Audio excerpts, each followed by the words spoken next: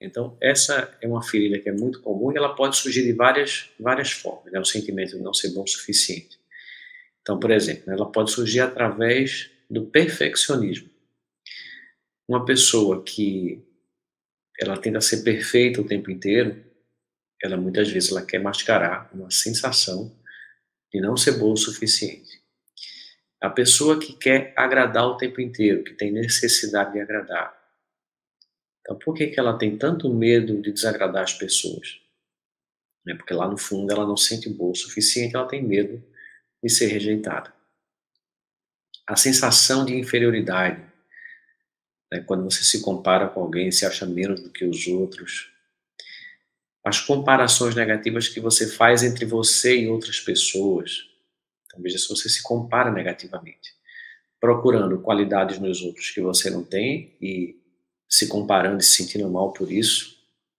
E muitas vezes não vendo também as qualidades que você tem e que às vezes outras pessoas não têm. Então, é, nesse aspecto você não observa, você observa o aspecto que faz você se sentir inferior, né?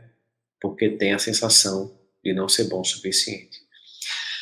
O sentimento de não merecimento também tem ligação com a sensação de não ser bom o suficiente.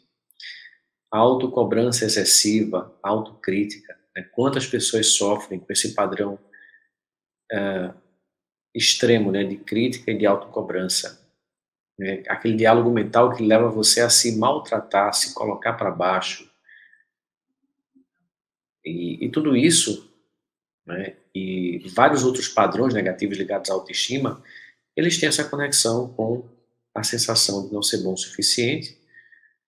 E esse sentimento de não ser bom o suficiente é, por sua vez, uma consequência de sentimentos negativos que ficaram gravados em vocês, experiências que você vivenciou de rejeição, experiências de abandono que você vivenciou na sua infância e que ficaram gravadas na sua mente subconsciente.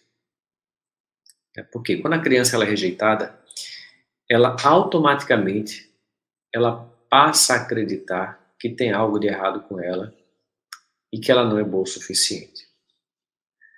É, quando a criança é rejeitada, ela não, ela não tem a consciência de que ela não tem nada a ver com aquela rejeição que o outro está, né, tá, como se fosse dizer, é, proferindo contra ela. Né? Então, se, se o pai rejeita uma criança, o filho, se a mãe rejeita um filho, se a mãe bate, critica, é, ou faz alguma coisa é, que faz a criança se sentir rejeitada, a criança ela não tem o entendimento e a maturidade para entender que aquele problema não está nela, né? Que aquela crítica, aquela explosão, aquela rejeição que vem do pai e da mãe tem, é alguma coisa que tem a ver com eles, né? Com algo que dentro deles não está 100% resolvido e que leva aquele tipo de comportamento. Então, o que, é que a criança pensa?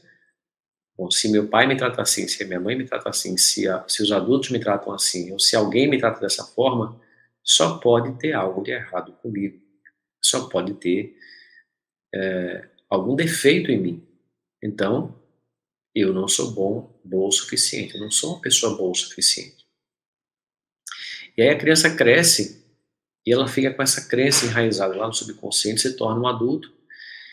E a partir daí vão surgir vários comportamentos sabotadores, né? Vão surgir medos, dificuldade de se relacionar, dificuldade de você crescer profissionalmente.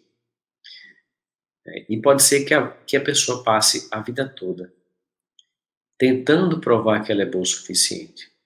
Então, veja, isso pode levar a um comportamento compulsivo da pessoa estar tá sempre querendo conquistar mais e mais coisas.